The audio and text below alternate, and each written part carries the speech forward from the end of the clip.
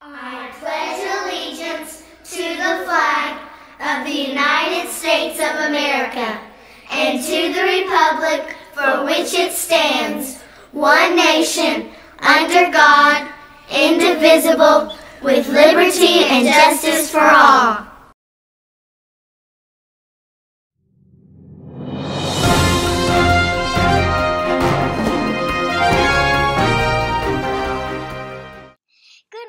Friends at DDCES.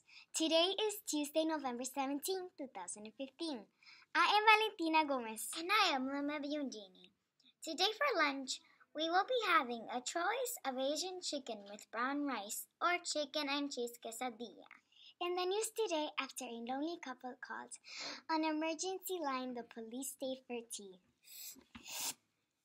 The, the sports, the Miami Heat will play against the Timberwolves at 7.30. Woohoo! The weather for today will be a high of 81 with scattered thunderstorms. Have a fantastic day at DDCES.